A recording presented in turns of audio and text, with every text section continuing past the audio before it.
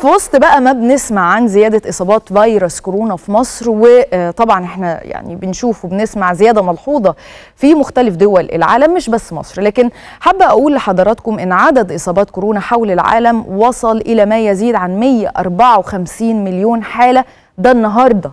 وده طبعا وفقا لآخر إحصائيات. لما نعرف طبعا إننا يوم السبت اللي فات اللي كان 1 مايو كنا حوالي 152 مليون حالة إصابة في يومين فقط. بقينا 2 مليون إصابة. نعرف طبعا المعدل الافتراضي بتاعها للزيادة يعني بقى عالي جدا. إحنا مش بعيد.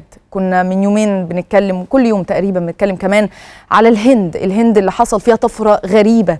الهند بعد ما كانت وصلت لمعدلات إصابة يعني قليلة للغاية أصبحت من أعلى معدلات الإصابة حول العالم. حصل تحور كمان للفيروس في الهند. العالم كله متخوف من يعني خروج هذا الفيروس المتحور لكل بلدان العالم.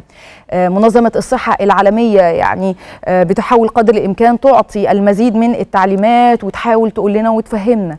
وزارة الصحة المصرية بتتابع لحظة بلحظة حالات الإصابة المصريين إصابات المصريين وبتعلن يعني الحقيقة الأعداد سواء كانت الأعداد الإصابات أو الوفيات لحظة بلحظة وأعداد كمان الحالات اللي تم شفائها من فيروس كورونا. لكن الحقيقة هي كمان متخوفة. إجراءات احترازية اتخذتها الدولة المصرية خلال الفترة اللي فاتت وبتشدد عليها.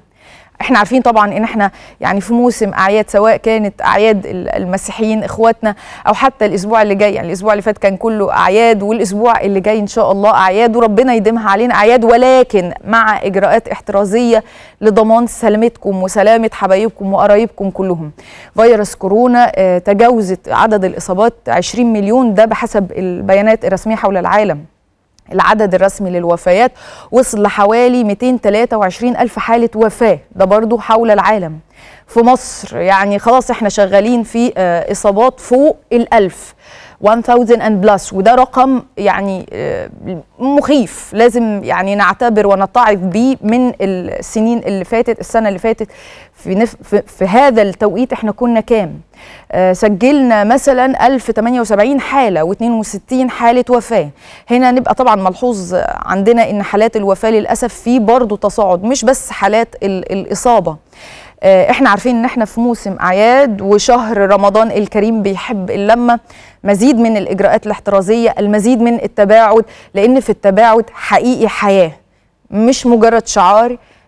يعني ده أعتقد إن الكل يعني الجميع شاف دوت مش بس في مصر في العالم.